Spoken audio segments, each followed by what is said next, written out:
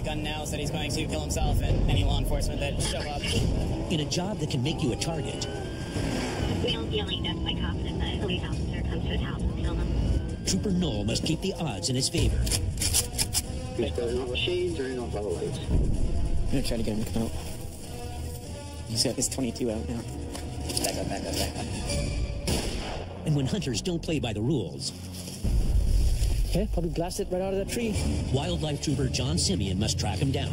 If you look at these tracks right here, I mean, it looks like somebody got out. And when a drunk driver defies the law, What's your name? None of your business. Follow my finger there. I'm not even gonna try. he gets a one-way ticket to jail. He's gonna have one hell of a hangover. From the wild streets to the open wild. We need you to track him. Yeah, I'll be your cover. This is Alaska State Troopers. Stop you are now. Stand still. You may get bit.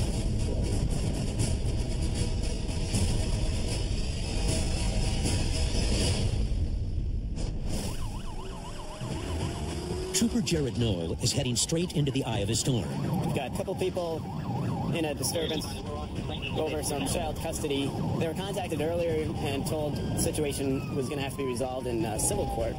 Apparently, didn't want to accept that answer. Now we got uh, three units en route. And this child custody case is threatening to turn violent. Male on 21 who lives at the residence stating he has a knife and that he's highly trained military personnel in deadly force, stating he will defend himself and his property if needed. Like reports there are multiple people in a vehicle now approaching the house. So now we're getting a report that the house is surrounded and they're trying to escalate things. Uh, one of the individuals on scene has said that he is armed with a knife and that he is highly trained in the use of the knife. Troopers race to the scene, but the busy Matsu Valley traffic makes for a tense ride. Right now it's uh, kind of rush hour, but uh, we're going to try to get there as quickly as we can. It's getting a little clogged up. We're still about three miles out. Three miles that can make all the difference.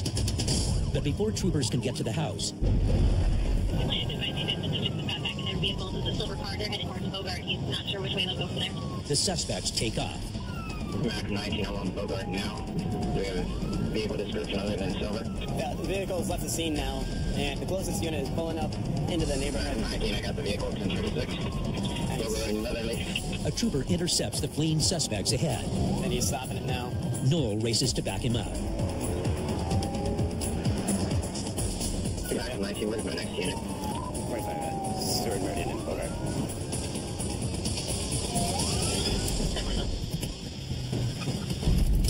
Knoll arrives just in time to help Trooper Neil Miner detain the other suspect still in the car, got the car. presumed armed and dangerous. You got the driver. You got a friend. Passengers, step out of the vehicle with your left hand, open the door. With your left hand, open the door.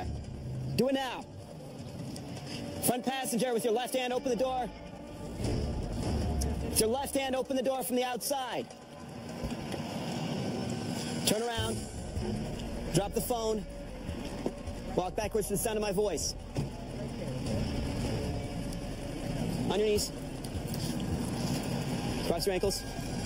Can you be careful one second? They're careful, all right, making sure it's not an ambush. Since we had the information that, that they were possibly armed with knives and highly trained in the execution of that, we had to take that threat very seriously when approaching the vehicle.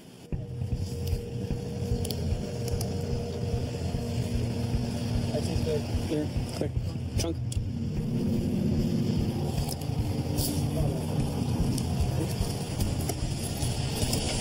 Clear. Back on 45 bed. Two detained.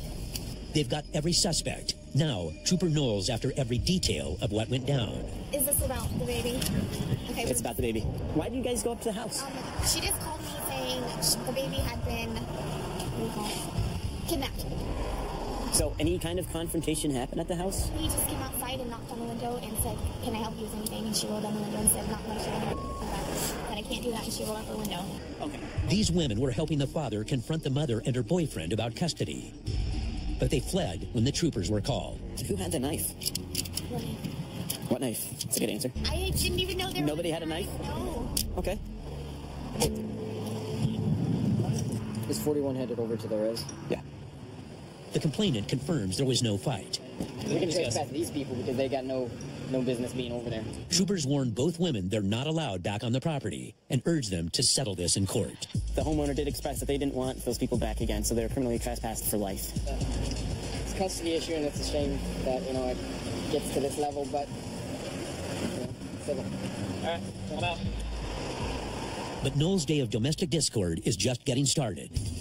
Dispatch reports another unhappy home across town.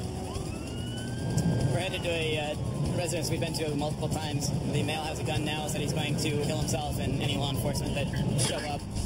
But he's not alone. There are two women in the house as well who could become targets if troopers can't get there quick. Complainant stating she just heard a click. She believes the male has the 1032 and he shut the bedroom door. Male's yelling death by cop in the background right now, saying that if a police officer comes to his house, he'll kill them. Death by cop are three words no trooper wants to hear. It means the suspect's ready to die at the hands of law enforcement. Everybody's intoxicated. You know, there's also firearms involved, so it's definitely an extremely dangerous situation. Troopers meet on scene, but the house is barely visible, obscured by trees. So they form a makeshift perimeter around the deeply wooded, fully loaded residence. He has two rifles in his bedroom. Last time we were here. I'm gonna go grab a long gun since he's got a rifle. Just let me know if you see any movement.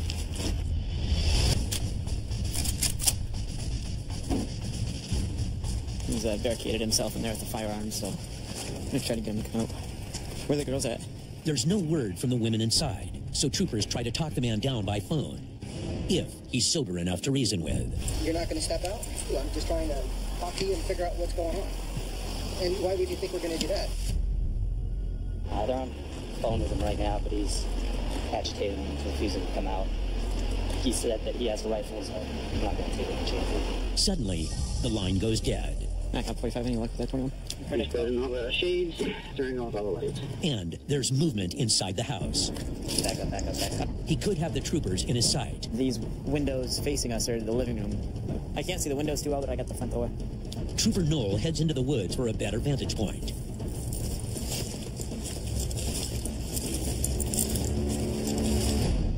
It's a tricky spot. He's got a, his 22 out now. You want to hold right around here? I've got eyes on the front door. Finally, the female hostages sneak out of the house. Trying to secure the uh, two female witnesses in a car so that they've got some level of safety down the road. But the estranged girlfriend has unfinished business. Honestly, I'd rather see my stuff. Why is he about to keep my clothes? That's all I want. My turtles in there, my t-shirt in there, you know, my, my clothes. That's all I'm here for. Okay, well, I'm not interested in getting in a gunfight with this guy over Oh, I'm here. I would rather come back when he's sober. That won't happen. Troopers don't want a gunfight. They convince the women to leave and decide to wait until tomorrow to question the man after he's had a chance to sleep it off. The next day, troopers get a tip the suspect's passed out and make a peaceful arrest. Hi, how are you? let's go ahead and walk up to that window over there. I've been, I've been. Yeah, it's not good. I didn't do it. It makes it safer for the community around him. He's not going to be drunk in his house with his, with his rifle threatening to sh- shoot everybody that walks past. I personally have been there about five times in the, in the past month. They book him for multiple counts of assault. Now he's facing several years behind bars. They took me on a DV. This.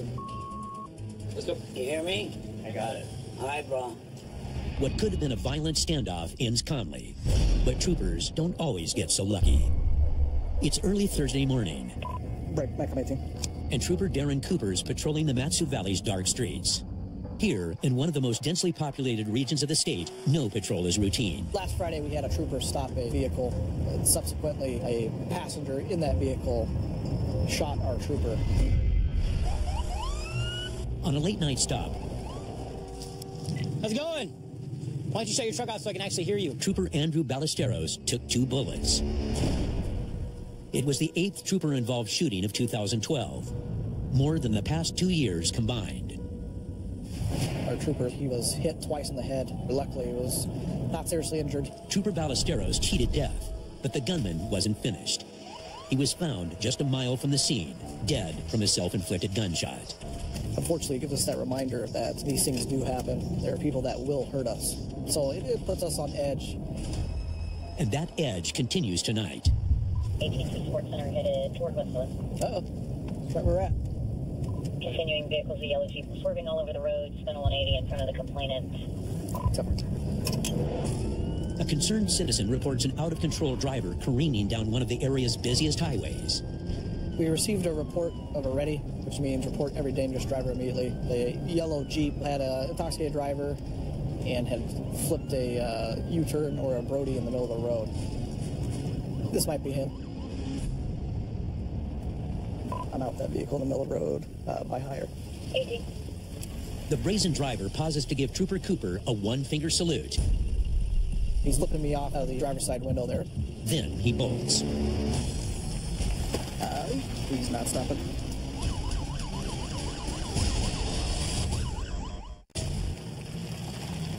Uh, he's not stopping.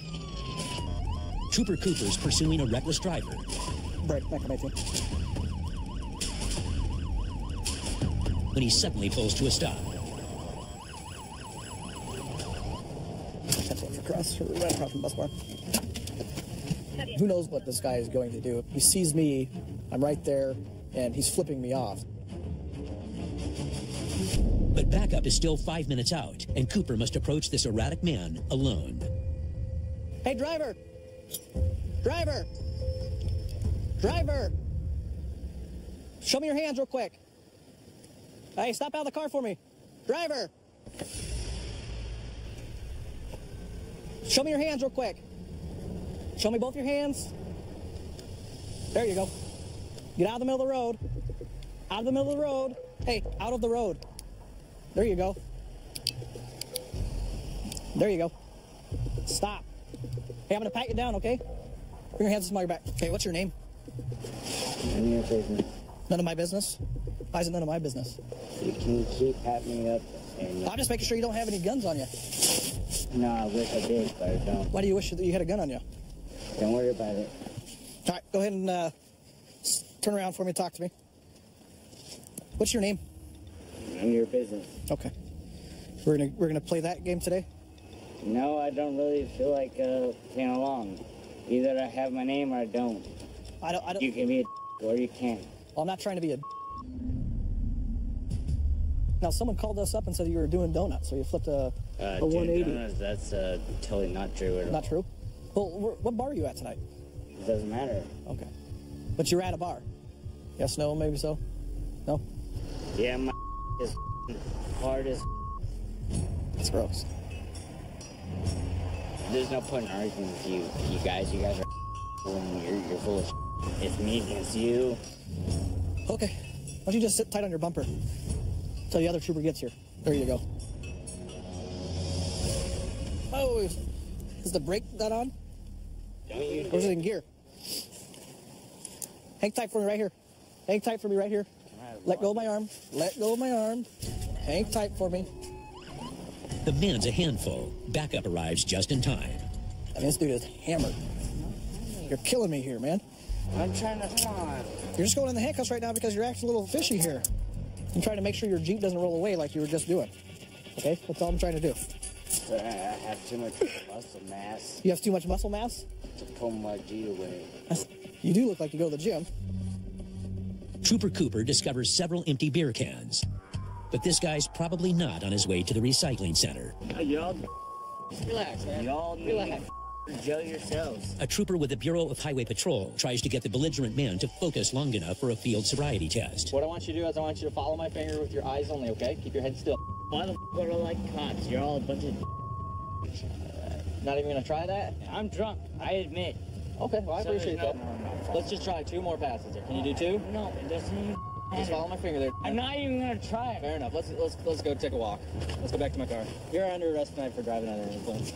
The man blows a point three, nearly four times the legal blood alcohol limit. You think your pocket's gonna stick in there poke me? I hope so. I hope so. I wish I had a shotgun. You wish you had a shotgun. That's kind of an interesting statement. He's fairly drunk tonight. We're glad to get him off the road. On the way to the processing center, he attempted to slip his cuffs and lay down in the back and began to kick the window.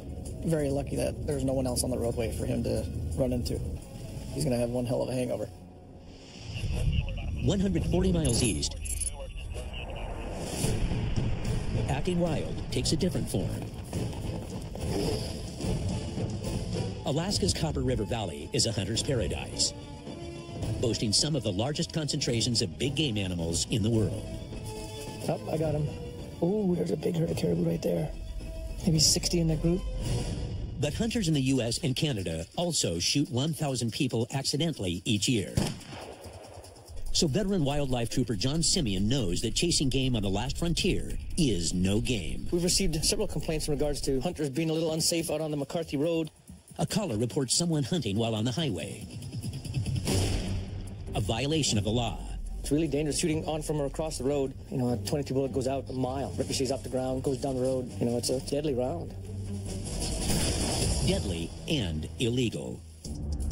To catch unlawful hunters in the act, troopers set up stings in the field using animal decoys. Give it more broadside. That's good. Today's game is small, but the stakes are high. We're going to deploy a decoy grouse. As you can see, a few of them have been shot before. This one's been shot a lot of times.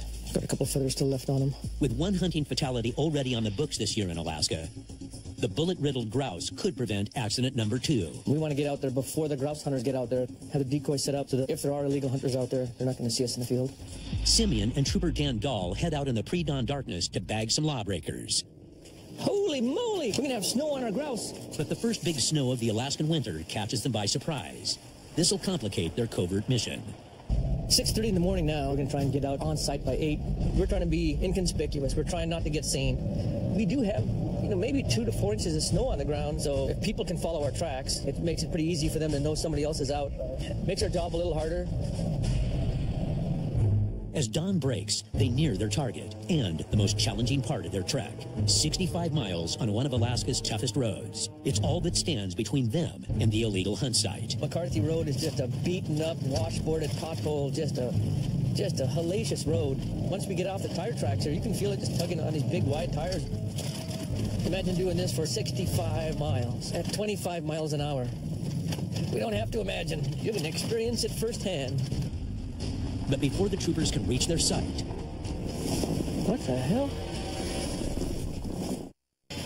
What the hell? Oh, it's dragging.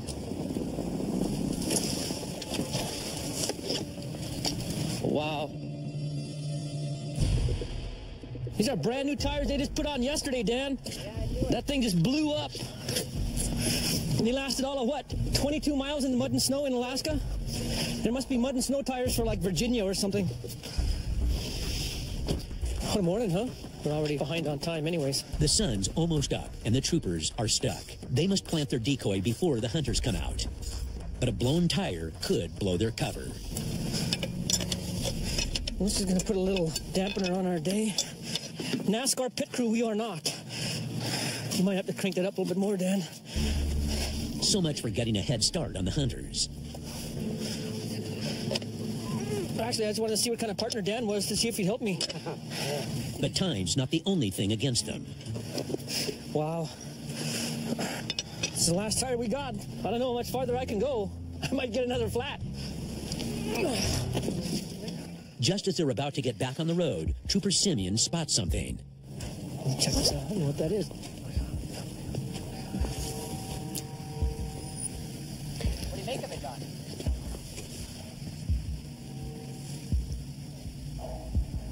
We have somebody in front of us. And it appears he may have already been out hunting recklessly from the highway. You can see where they walked off the road.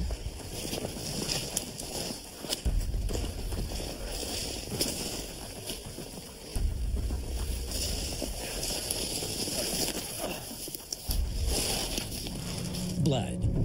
Yeah, probably blasted right out of that tree. If you look at these tracks right here, I mean, it looks like somebody got out. Because they, they drove past it and backed up to it. It looked like he was standing from.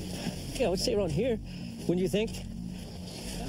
There's snow in the track, so these guys are quite a ways in front of us. But Simeon's optimistic.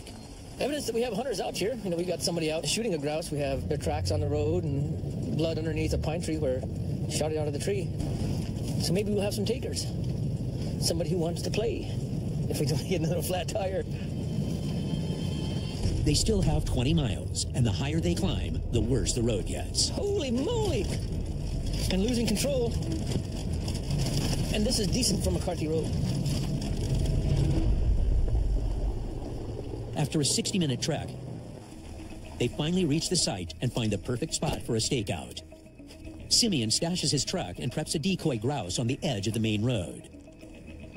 We got to get it far enough off the road where nobody shoots towards us, and far enough off the road so if they do shoot, it'll be in a fairly safe direction. Because we don't want to deploy it in a spot if there is somebody else coming down the road. So. Make sure you stay in that tire track, man. Can't get off the tire track, or you'll see my footprints. The bait is set. Now, all they have to do is wait. And we just need that, that one guy. An opportunist. Yep. Opportunist.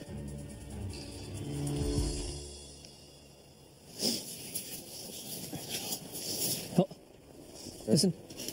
It's only a few minutes before the hunters start coming.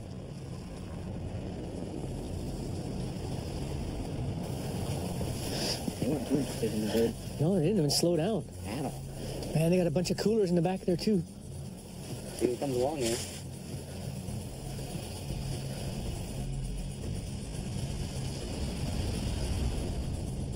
Not even a break. Damn it. An hour passes. Still no luck. So Trooper Simeon places his second decoy. I'm gonna try and wire it to a tree. Oh, that's where I'll stick him. Looks like a like a perfect setup. I mean, with this kind of dull light. Give it a couple more minutes and we'll take off. Suddenly, Huh. Get off the get off the get off the they get a possible taker. The truck matches the description of the roadside shooter they received the report about earlier. I can see the driver's plain as day. You can see he let off the throttle. If somebody was gonna shoot, that would have been the person right there. I don't know, maybe he'll turn around and come back. Come back. He's coming back up. Simeon and Dahl move closer to get a better look.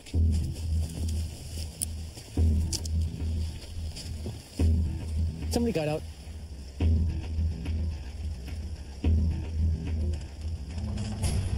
I can see the driver.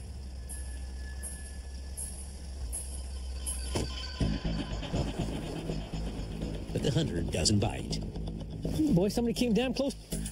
Uh, Toyota that our complainants are saying that they're driving is a Toyota pickup. But I bet you all the other folks leaving have let them know. They don't bag their roadside shooter, but Simeon still knows they made an impression. Just us being out here, hunters knowing there's decoys set up is going to get the word out. People are going to start thinking about it. It's going to be in the back of their mind. You know, this could be a setup. This could be something to test my integrity. That wasn't a bad setup, though, Dan. It looked good anyway. We just want to make sure the hunters are doing it safe and doing it the right way. Time to go home. Back in the Matsu Valley, troopers track a different type of criminal, a slippery fugitive who may be armed. And Trooper Greg Pelletier and K-9 partner Anchor arrive ready for action. And Sarge, what do you got? This is the vehicle. It was for felony evade elude. The, the complainant said they left out the driver bail out of the car. Took off running. That's who we think it is. He's wanted for uh, fugitive from justice. Uh, so we need you to track him. Yeah, I'll be your cover. Okay. Anchor quickly picks up the suspect's scent, and the team begins the chase. We got a, a call of a, a felon uh, bailed on foot out of a vehicle. Um, felony warrants. Individual fled on foot. The felon leads them into the wilderness, and maybe into a trap.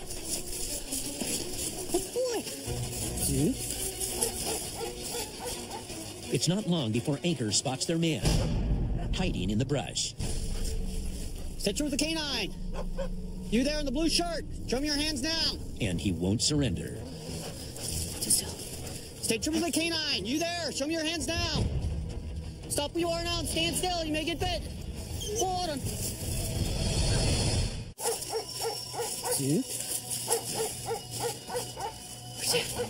Anchor spots their man, hiding in the brush. Stay true with the canine. You there in the blue shirt? Show me your hands now. Stay true with the canine. You there? Show me your hands now. Stop where you are now and stand still. You may get bit. Hold on.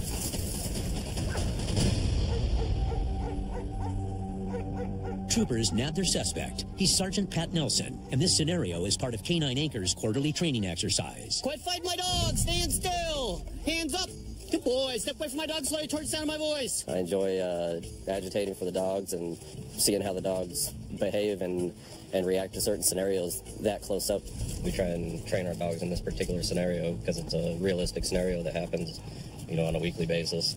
Well, overall, uh, good, good job, good tactics. Uh, I thought you did well, the track was really well, and uh, the apprehension did. Sergeant Scott Johnson runs the canine unit for the state. We currently have uh, seven dogs in the state trooper inventory. We try to make it harder in training, and uh, and the dogs are going to see on the street so they don't fail. But in the northwest corner of Alaska, a partner is luxury. This is the Arctic town of Kotzebue, home to just over 3,000 residents. Its trooper post serves the state's northernmost communities.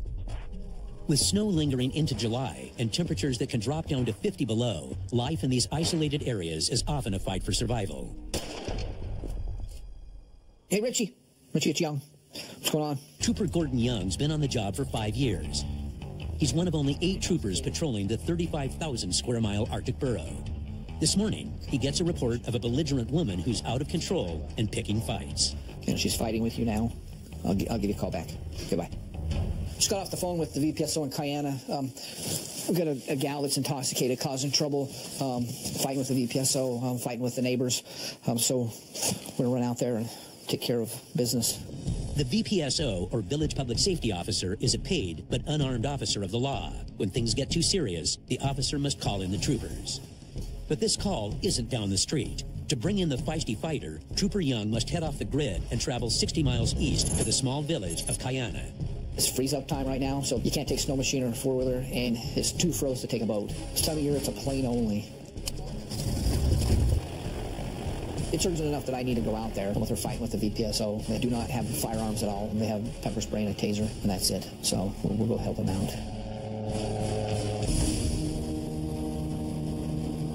This lady, I deal with her quite a bit.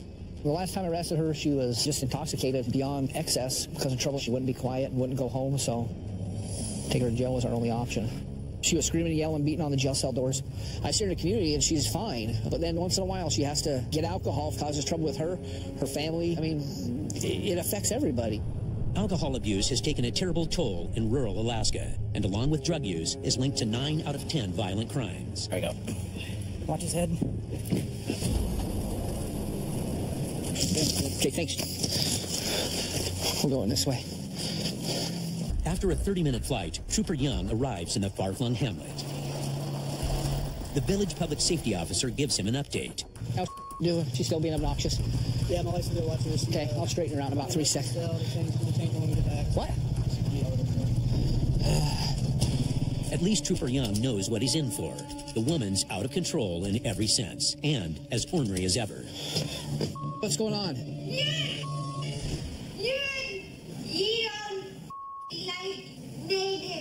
Hey, quit swearing. Why are you in jail today? What'd you do? Are you, are you supposed to be drinking? Say no. Why are you in jail today? What'd you do? Are you, are you supposed to be drinking? Say no. You're on probation. You know you're not supposed to be drinking, and then you wouldn't leave his house. You are going to jail. Sorry about that. Criminal trespass and probation revocation.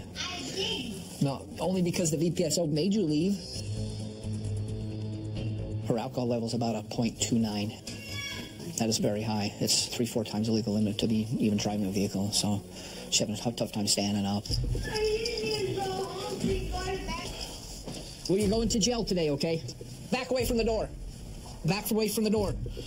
Back, aw- back away from the door. Back away from the door and we'll talk. Trooper Young does his best to calm the very drunk, very aggressive villager so he can fly her to jail back in Kotzebue. Go stand over there. You're not going to give us any trouble, are you? No. Okay, let's go. We're young. Let's go. Come on. Let's go. I never do nothing. I. Come on. I just done. Here, just Look out. Come on. Hey, look. Look out. pull your pants up. Pull your pants up. Yeah, I will. Now, Young is faced with getting this agitated woman to behave herself on the plane back to Kotzebue. We always have concerns with people um, flying in an airplane, especially drunk people. A few months ago, we had a person attempt to try to take the plane down. He was trying to get to the pilot, so we had to subdue him, and then we tasted the gentleman twice. Let's go. Come on. Come here. You're gonna get in. Now you gotta help me. Put your foot up here. Put my foot up there. Right here. Ready? Mhm. One, two, three. Come on, seriously. Get right. That right there. Who's that? Oh, we gotta go.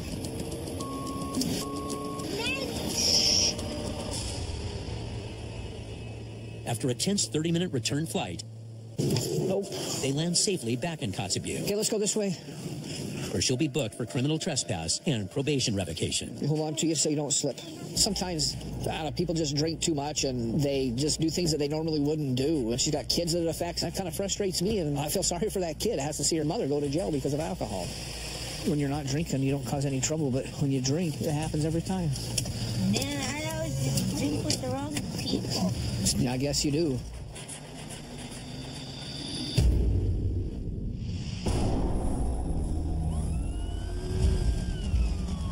Trooper Timothy Cronin races across the Mat-Su Valley to the wreckage of a head-on collision. We advise the female ran into the trees, may have been 55. It's a two vehicle collision. We've got injuries and we've got a possibly intoxicated driver fleeing. We're going to get there as fast as we can. Cronin hits the gas to catch the fleeing suspect. Suddenly, the call takes an unusual turn.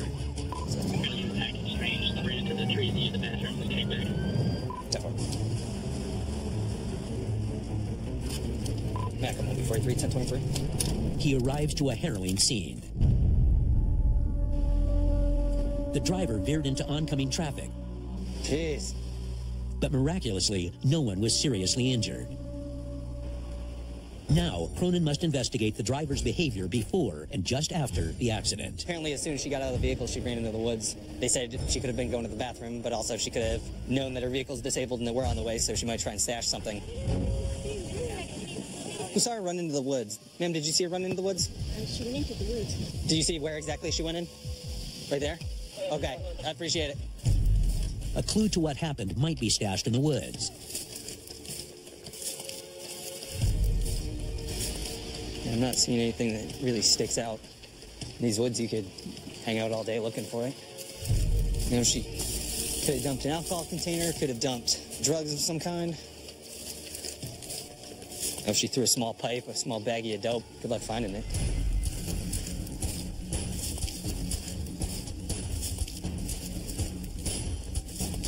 Then, There's a flask right here. There's a flask right here. the cause of a horrific crash might be hidden in a tossed away flask. How old is it? I don't know. Oh, yeah. That's been there. He returns to the scene empty handed. We found an old flask. That was about it. The problem is there's this big ridge, so she could chuck something up into the brush up above it. We got two troopers who are gonna check and make sure she's not impaired. And uh, but first she's gonna have to get checked out by the ambulance because she hit a uh, F-350 pickup head-on in a small sedan. While EMS checks over the driver, Cronin manages the traffic. Right now our job is pretty much to make sure that no one else comes in the scene and gets hit and makes it worse. Stop! You weren't told to go. You're blocking the ambulance. You need to move back. We weren't here. People just want to make their way through the scene. They don't know that EMS crews are working, ambulances are about to come down. We don't have the road blocked off for no reason. They rush her to a nearby hospital, and troopers dial in on what went wrong. It looks like she was most likely texting while driving, which is a misdemeanor offense in the state of Alaska. So if they can prove that she was texting while driving and swerved randomly into the oncoming lane and hit that car, then she'll be charged criminally for that. But she's getting off easy. She's lucky to be alive. But across the valley, the residents of the small community of Point MacKenzie aren't so lucky. It's about 20 miles out of town. There's a general store, kind of the only store in the area, and it's on fire. The general store is a lifeline in rural areas, so this fire borders on calamity. Even more frightening, it might have been intentionally set. We've obviously got fire coming from several different places, so I gotta assume the fire's real bad if there's multiple fire departments showing up. We've actually had quite a few buildings burning down in the valley, so it's very possible that this is arson. Mac 29, any updates? Calhoun soon gets word that more than the buildings at stake. There's still people inside. The owner lives inside. As far as anyone knows, she was there during the blast. We're still 20 miles away, and we're the closest.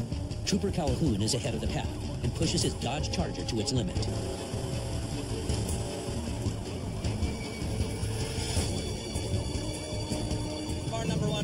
Priority is making sure everybody's out of the building and making sure people aren't going back in.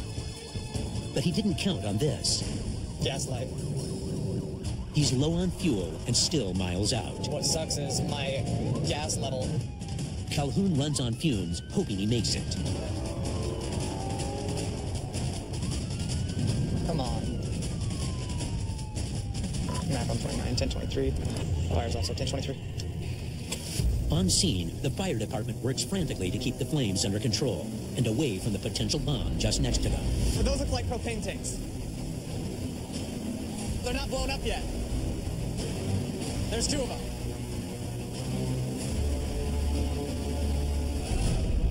Stand up, stand up.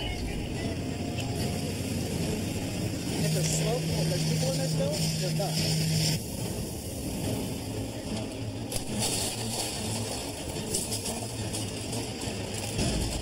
Now, Calhoun can focus on saving the possible victim trapped inside. So do you know the owner here? Yes. He was upstairs sleeping. When that happened? Yep. There was an explosion. It was like a propane ball went off. Okay. What time did you say it blew? Just minutes before six. Go, Boom! Thanks a lot. They don't know if anyone's still inside. They just know that people typically sleep here. Right now, still no all clear. The rear portion of the, of the building's all burnt up. There's no way in, no way out. To rescue the woman, firefighters must cut through the side of the building.